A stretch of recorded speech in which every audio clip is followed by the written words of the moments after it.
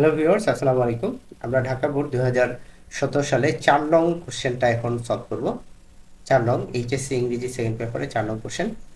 দেখো, এখানে প্রথম রয়েছে প্রশ্নটা কি বুঝো complete the following sentence with suitable clauses and phrases দেখো, আমাদেরকে এই চার নম্বর আইটেমটা করতে হবে। এখানে দুইটা জিনিসের কথা বলা হয়েছে। একটা হলো সুইটেবল ক্লজেস নিয়ে আসতে হবে উপযুক্ত ক্লজ নিয়ে আসতে হবে। খণ্ডবাক্য বাক্য নিয়ে আসতে হবে আরেকটা বিষয় কি? ফ্রেজেস নিয়ে আসতে হবে। তার মানে যে কিছু কিছু বাক্য আমাদের ক্লজ দিয়ে সম্পূর্ণ করতে হবে, কিছু কিছু বাক্য আমাদের ফ্রেজ দিয়ে করতে হবে। ক্লজ বলতে কি বোঝায়? ক্লজ বলতে আমরা এরকম একটা জিনিস বুঝব এখানে একটা সাবজেক্ট রয়েছে, একটা ফাইনাইট ভার্ব রয়েছে, একটা ফাইন ভার্ব রয়েছে এবং এর পাশাপাশি একটি অবজেক্ট বা এক্সটেনশন রয়েছে। এরকম বোঝাবো। তো এরকম একটা ফরমেশনকে আমরা কি বলব? এটা হলো একটি ক্লজ ক্লজ তাহলে ক্লজ বলতে আমরা এই ধরনের একটা ফরমেশনকে বুঝব। আর ফ্রেজ কি? আর ফ্রেজ হলো একগুচ্ছ শব্দ যেখানে কোনো ফাইনাইট ভার্ব থাকবে না, যা একটি পার্সন হিসেবে ব্যবহার হয়। তিনটি বিষয় একটি হলো, এক নম্বরটি হলো একগুচ্ছ শব্দ। একগুচ্ছ শব্দ থাকবে এখানে মানে একাধিক শব্দ থাকবে। দুই নম্বর পয়েন্টটা হলো ফাইনাইট ভার্ব থাকবে না। ফাইনাইট ভার্ব নেই। এক্ষেত্রে কোনো ফাইন ভার্ব থাকবে না। আর তিন নম্বর পয়েন্টটা কি? যা বাক্যে একটি পার্সন স্পেস হিসেবে কাজ করবে পার্ট অফ স্পিচ স্পেস হিসেবে কাজ করে হ্যাঁ? যা বাক্যে একটি পার্সন হিসেবে কাজ করে। এটা হলো কি? এটাকে আমরা বলব কি? Fresh okay? তাহলে আমাদের, আমরা দেখলাম ফ্রেশ হতে হলে কি হতে হবে? যে এক নম্বর পয়েন্ট হলো একগুচ্ছ শব্দ থাকবে সেখানে, দুই নম্বর পয়েন্ট হলো ফাইনাল ভার্ব থাকবে না, তিন নম্বর পয়েন্ট হলো যা বাক্যে একটি পার্সন হিসেবে কাজ করবে। এই পয়েন্টগুলো যদি আমরা পাই, তাহলে আমরা সেটাকে একটি ফ্রেজ বলব। তাহলে আমাদেরকে এই চার নম্বর যে কমপ্লিটিং সেন্টেন্সেস এই আইটেমটা আমাদেরকে এই দুইটা উপায়ে কমপ্লিট করতে হবে। একটা হলো কি আমাদের নিয়ে আসতে হবে ক্লজ অথবা ফ্রেজ তাহলে আমরা শুরু করি। প্রথম বাক্যটা দেখো। Trees are essential for our existence গাছ আমাদের অস্তিত্বের জন্য দরকার। সো উই শুড ড্যাশ তাহলে গাছের ব্যাপারটা আমাদের কি করা উচিত? হ্যাঁ উই শুড ড্যাশ একটা আমাদের এখানে একটা যে মূল ভার্ব বসাতে হবে এবং এক্সটেনশন বসাতে হবে। একটা অক্সিলারি দেওয়া আছে, তাহলে আমরা এটা কি করতে পারি? We should plant plant trees more and more more and more আমরা এইভাবে কিন্তু এটা করতে হবে। We should plant trees more and more এটা লিখতে পারি অথবা এটা অন্যভাবে করা যায় আর অনেকভাবে করা যায়। আমরা লিখতে পারি যে we should not cut we should not cut on trees at random হ্যাঁ we should not cut trees at random আমরা কিন্তু এভাবে করতে পারি। We should not cut trees হ্যাঁ উই শুডটা দেওয়া আছে এখানে। আমাদের লিখতে হবে not cut trees at random নির্বিচারে আমাদের গাছ কাটা গাছ কাটা উচিত নয়। তাহলে এই দুইভাবে কিন্তু আমরা এটা করতে পারি। আমরা দ্বিতীয়টা দেখি। দ্বিতীয়টা হলো ক্লজ যখন আসবে তোমরা subject plus verb plus object বা এক্সটেনশন এই ফরমেশনটা চিন্তা করবা, তাহলে হয়ে যাবে। তারপরে দেখো English is an international language আমরা দ্বিতীয় বাক্যটা পড়ি English is an international language dash you cannot get a good job তুমি একটা ভালো চাকরি পাবে না। এটা আমরা কন্ডিশনাল বাক্য হিসেবে করতে পারি। কন্ডিশনাল বাক্য যদি করি if you do not know English you cannot get a good job আমরা এইটাও করতে পারি। অথবা without having a good command on English এটাও করতে পারি। হ্যাঁ এটাও করতে, এটাকে আমরা কন্ডিশনাল কন্ডিশনাল সেন্টেন্স হিসেবে করতে পারি। যে if you do not know English well আমরা কন্ডিশনাল বাক্য হিসেবে এভাবে করতে পারি। If you do not do not know English English well if you do not know English well যদি তুমি ভালো ইংরেজি না জানো, তাহলে যদি তুমি ভালো ইংরেজি না জানো you cannot get a good job এটা আমরা এইভাবে করতে পারি, অথবা without the proper knowledge of English এইভাবেও করতে পারো you cannot get a good job cinema দেখো corruption is an obstacle toward national development it is high time it is আইটেমের ক্ষেত্রে নিয়ম যেটা it is item plus subject plus ভার্বের past form হয়। It is item plus subject plus ভার্বের past form ওটা কি? যে it is high time high time plus subject একটা সাবজেক্ট বসাবো প্লাস ভার্বের পাস ফর্ম হবে। Past form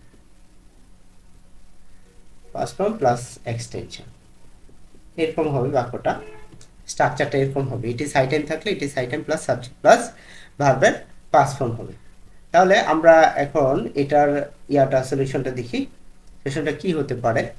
যেমন এখানে আমাদের রয়েছে যে তোমার corruption corruption is an obstacles to all national development it is high time it is high টাইমের পরে আর কিছু নাই। তাহলে আমরা একটা প্রথমে একটা সাবজেক্ট যদি নিয়ে আসি ইট ইজ হাই টাইমের পরে আমরা একটা সাবজেক্ট নিয়ে আসব।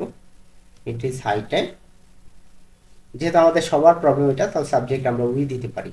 এটি সাইটে we check C H E C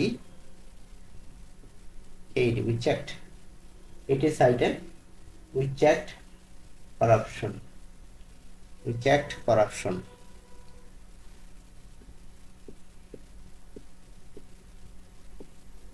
we check corruption এটা দিতে পারি, অথবা আমরা কিন্তু এটা দিতে পারি we stood against corruption we stood against against against corruption. তাহলে আমরা এইভাবে এই দুই উপায়ে কিন্তু বাক্যটা করতে পারি। একটা হলো কি উই চ্যাট কারাপশন কারাপশন আমাদের চেক করা উচিত চেক দেওয়া উচিত। আরেকটা কি, আরেকটা হলো যে তোমার we stood against corruption stand ফার্মের পাঁচ হলো stood we stood against corruption তারপরের বাক্যটা আমরা দেখি। তারপরে আছে my childhood was full of joy and happiness I wish I wish plus subject plus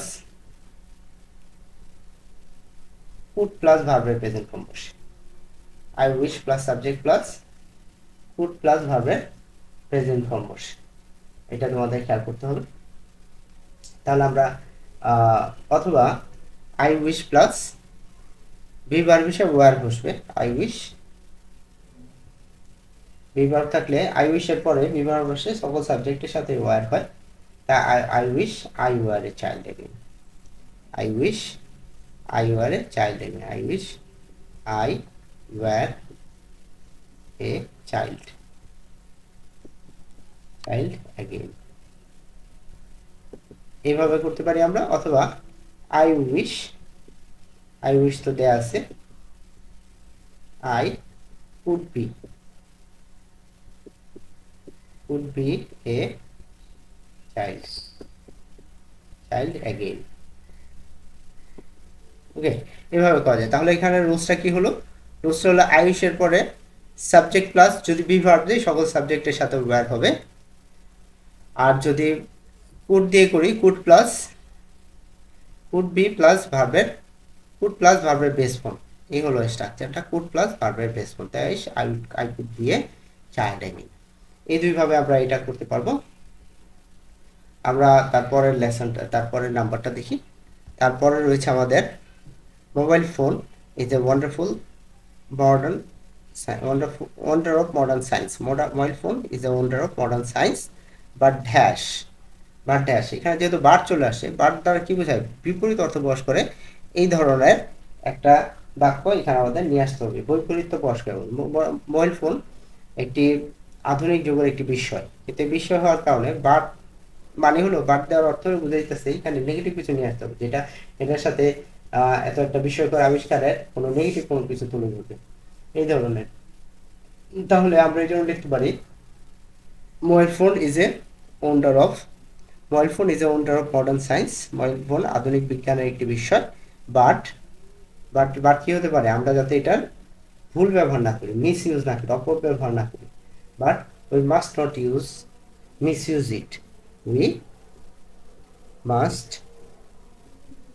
not miss use it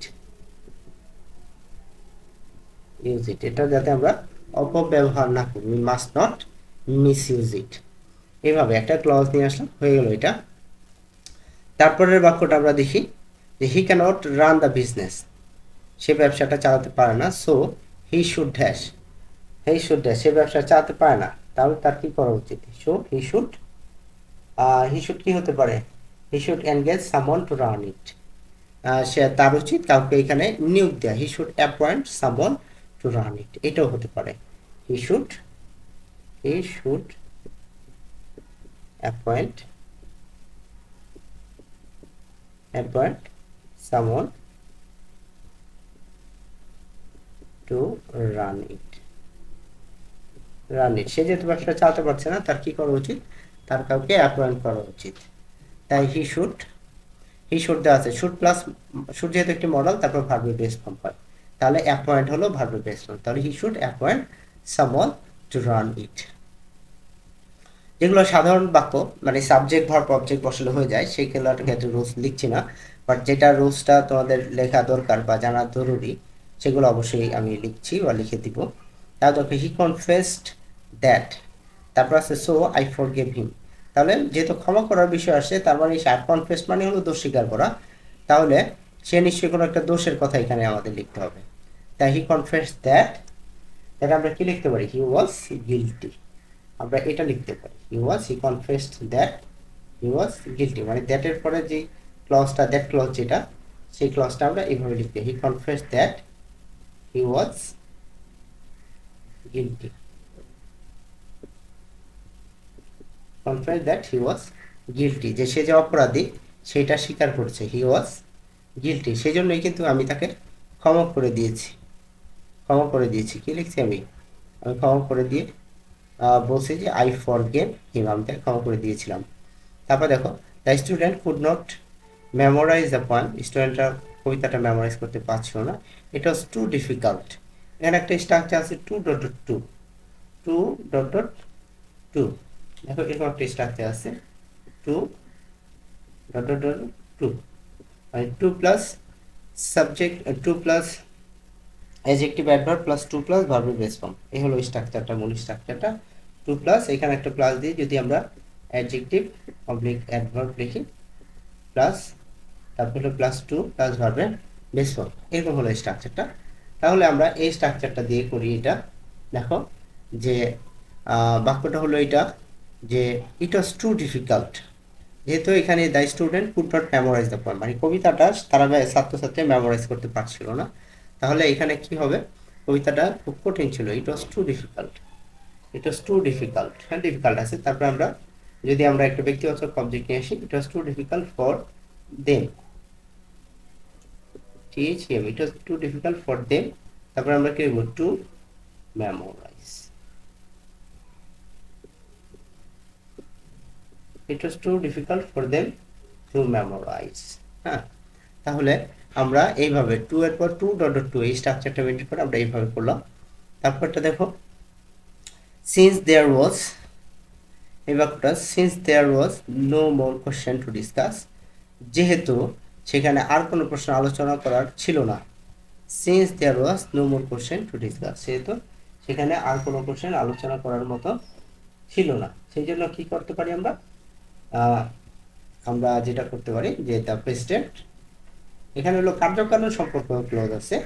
দেখো প্রথমটার মধ্যে কারণ প্রকাশ করা হয়েছে যে আর কোনো বিষয় আলোচনা করার মতো ছিল না। অ্যাস ইজ বিকজ দিয়া অ্যাস ইজ বিকজ স্ট্রাকচারটা এরকম যে দেখো অ্যাস সিন্স বিকজ প্লাস কারণ প্রকাশক ক্লজ কারণ প্রকাশক ক্লজ প্লাস ফলাফল প্রকাশক ক্লজ ফলাফল প্রকাশক ক্লজ তাহলে অ্যাজ সিন্স বিকজ দ্বারা কি বোঝায়? এখানে দেখো অ্যাজ সিন্স বিকজের পরে যে ক্লসটা আসবে, সেটার মধ্যে কারণ থাকবে। এবং কারণের পরবর্তী যেটা থাকবে, এই কারণের ফলাফল। তাহলে এরকম একটা স্ট্রাকচার এখানে রয়েছে। তাহলে আমাদের since there was no more question to discuss যেহেতু আর কোনো প্রশ্ন আলোচনা করার মতো ছিল না, সেহেতু কি করতে পারি? মিটিংটা শেষ করে দেওয়া যায়। তাহলে এটার আলোচনা করা না থাকার ফলাফল হিসেবে আমরা কি করতে পারি? মিটিংটা শেষ করে দিতে পারি। তাহলে আমরা লিখতে পারি the president finish the meeting the president finished the meeting. Finished the meeting.